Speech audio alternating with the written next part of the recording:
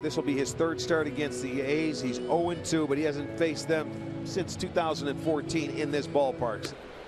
Swing and a miss and a breaking ball in the dirt. Lowrie strikes out. Swung on and miss. He strikes out Khris Davis. And there are two down here in the first. The 0-2 offering. Swung on and missed. He strikes him out.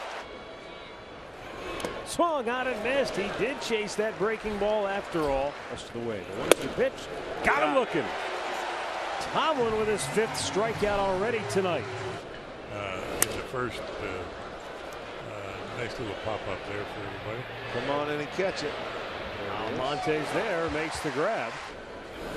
Swing and a miss.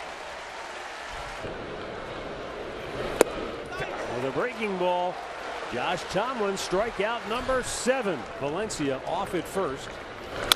And a topper to second. Kipnis. The flip to first. And Josh Tomlin, another solid inning of work.